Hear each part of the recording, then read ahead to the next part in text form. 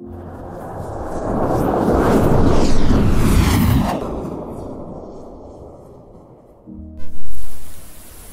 le rossignol se tut, toute la nature demeura silencieuse. Alors le richi commença de nous raconter une ancienne légende.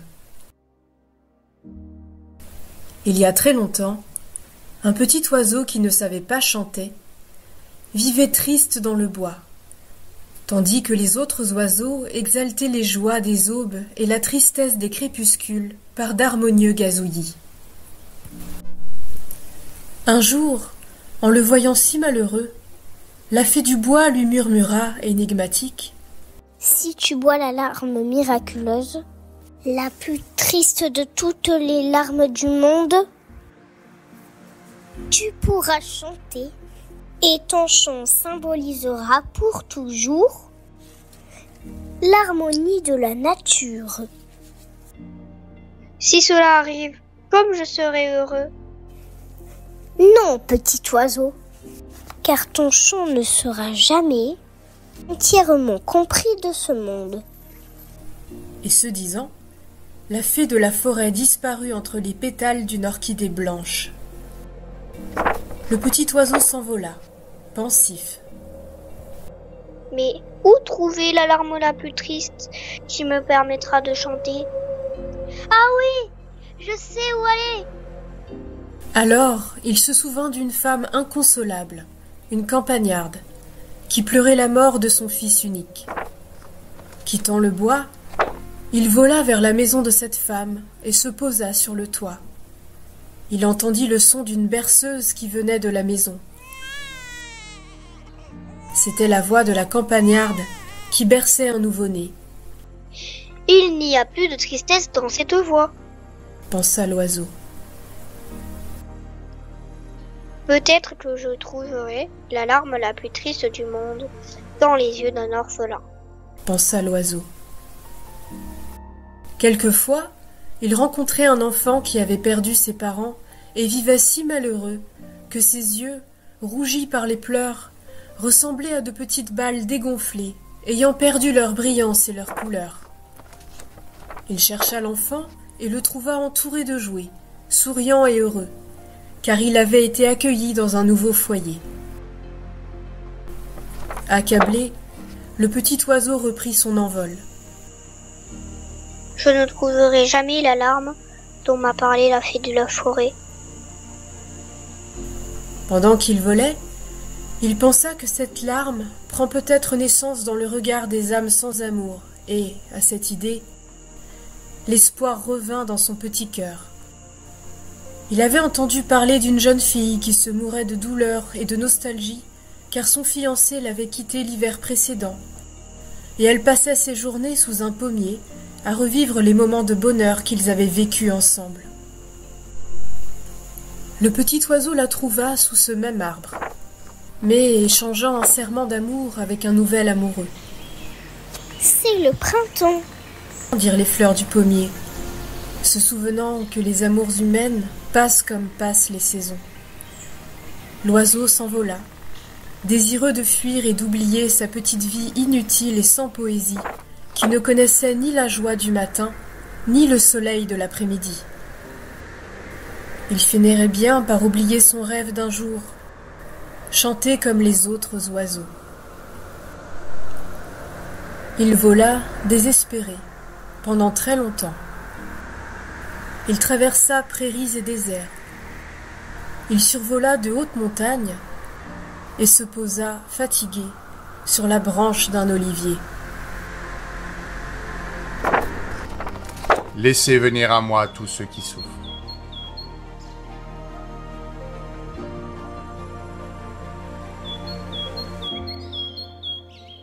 Laissez venir à moi les petits enfants. C'était la voix du divin Swami qui parcourait la terre, prêchant l'amour et l'espoir à une multitude de miséreux. Je suis petit et souffrant, pensa l'oiseau. Et depuis ce jour, comme tous les tristes et les souffrants, subjugués par cette voix, il suivit le Swami partout. Lorsque le divin maître marchait dans les bois parfumés de Jéricho ou dans les plaines de Samarie, le petit oiseau voltait à ses côtés. C'est ainsi qu'il se percha sur le mât d'un bateau en mer de Galilée et sur les cèdres du mont Carmel.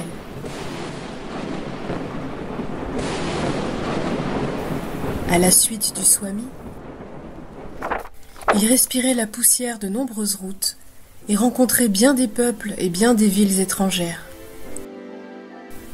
Parcourant monts et vallées, infatigable, sans jamais le quitter, il ne plaignait jamais les distances.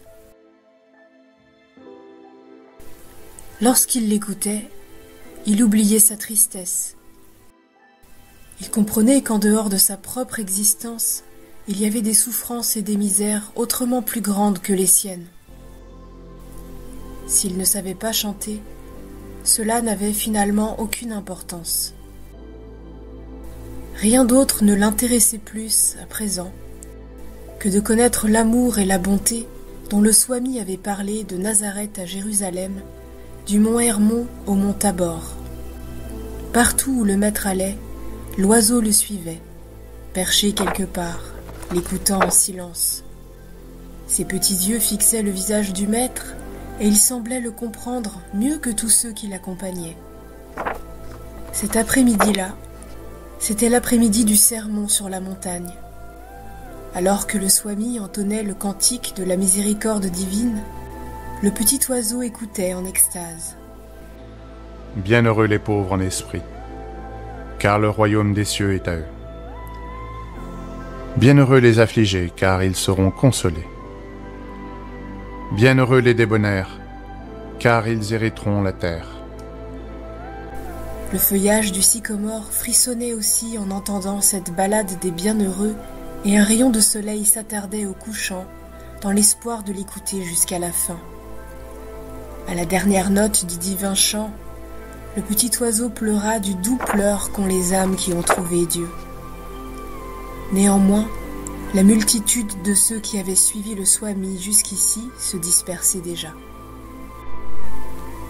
La plupart d'entre eux étaient venus chercher de la nourriture terrestre, car ils avaient entendu parler de la multiplication des pains et des poissons. Plusieurs même étaient partis en proférant gros mots et injures. À ce moment-là, les disciples du Swami l'avaient quitté aussi, et il était seul sur le mont. Et son regard d'une tristesse infinie et d'une infinie compassion accompagna cette foule qui descendait la montagne pressé de satisfaire ses appétits matériels. Au loin, sinueux et encaissé, découpé dans les rochers nus, on distinguait le chemin de croix qui mène au Golgotha. Au-delà, sur le mont des Oliviers, près du village de Béthanie, se dessinait la silhouette du temple, rutilant d'or et de marbre, scintillant comme la neige du mont Hermon sous le soleil. Au-dessous, amoncelées et sales, les maisons de Jérusalem ressemblaient à des nids de guêpes, et le Swami frémit devant ce décor. Il venait d'avoir la prémonition de Gethsemane, du Sanhédrin, de la multitude lui jetant des pierres, de la croix et du calvaire. Il aurait à souffrir en outre du reniement de Pierre, son meilleur disciple, lequel l'attristerait bien plus que la trahison de Judas. En regardant l'infini, le doux Swami s'exclama avec angoisse. Ô Père, que je boive jusqu'au bout le calice des amertumes, mais que l'humanité apprenne à aimer l'amour pour l'amour. Une tristesse infinie envahit le regard du maître. Il entendait encore les injures et les moqueries de la foule insatisfaite. Quand les hommes comprendraient-ils donc le cantique des bienheureux? Et son cœur battait, plein de compassion pour la faiblesse et la misère humaine. Un gémissement sortit de sa poitrine, triste et douloureux. Jésus venait de ressentir toute l'ingratitude, l'incompréhension et l'abandon des hommes pour lesquels il allait offrir sa propre vie. À cet instant, raconte la légende, le petit oiseau, le seul être qui ne s'était pas éloigné du mont, se posa, affligé, au pied du maître, compatissant à sa douleur. Le regard anxieux, haletant, le petit oiseau sembla dire à son bien-aimé Swami Ne pleurez pas, divin Swami. Les hommes ne comprennent pas encore votre cantique. Mais quand vous rejoindrez le Père, les oiseaux répéteront votre message partout sur la terre.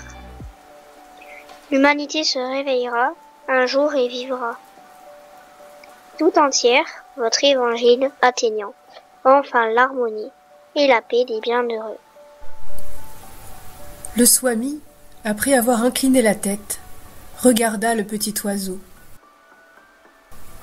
Les yeux du maître étaient tout noyés de larmes. L'une d'elles tomba, frémissante, sur le bec de l'oiseau. C'est ce jour, raconte la légende, que la nature, émue, entendit pour la première fois le chant du rossignol.